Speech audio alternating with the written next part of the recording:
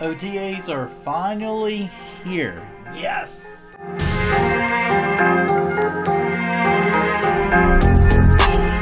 We finally got to see Ryan Fitzpatrick in a Washington football team helmet. He seemed like he was having a lot of fun out there. And we also saw Kyle Allen and Taylor Heinicke out there as well. It's nice to see the guys coming out in OTAs especially when they're not mandatory. What I also thought was very interesting was the fact that Brandon Scherff was present at the OTAs as well.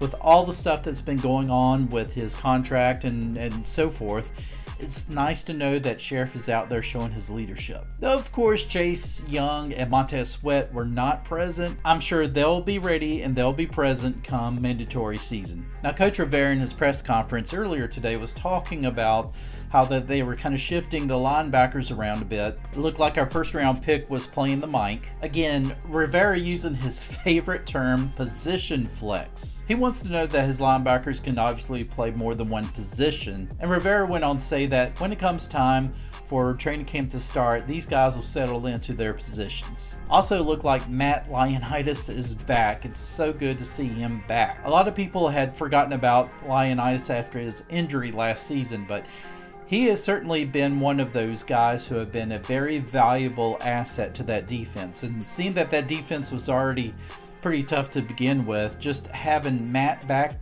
there, it's just it's good to be awesome. It also sounds like the defensive backs so far have been having a great OTA. They're just flying all over the field and they're really being very passionate, which I think is, is so great to see especially when it comes to OTAs. Also looks like that there's some experimentation going on with Troy Apke. They're wanting to put Apke out in the corner to kind of see how he does out there. As all of us fans know, Troy Apke was kind of a liability back there in the in the secondary at safety, so possibly putting him at corner, we'll we'll see what he can do. But so far, it sounds great. I mean, it sounds very promising.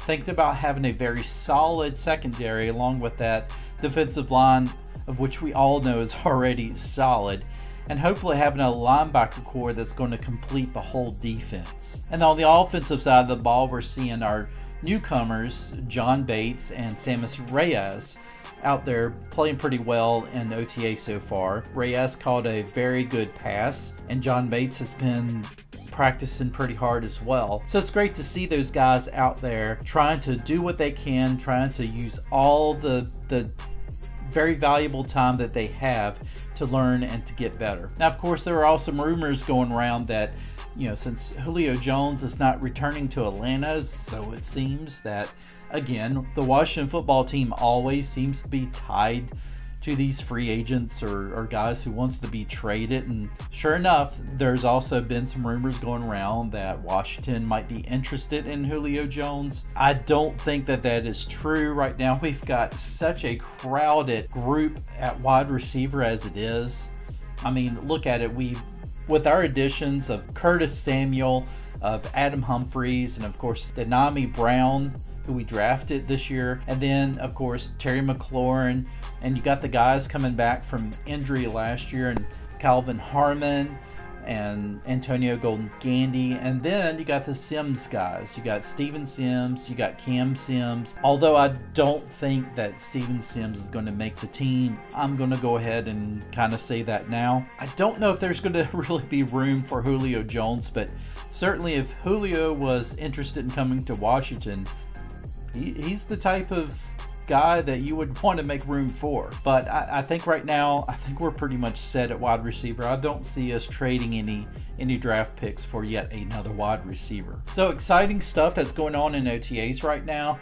I'm just so glad that we're that much closer to the new season. We're almost at the end of May right now. You got June, July, and then August. You're getting into training camp. So it's not too far off, folks. Hell to the Washington football team.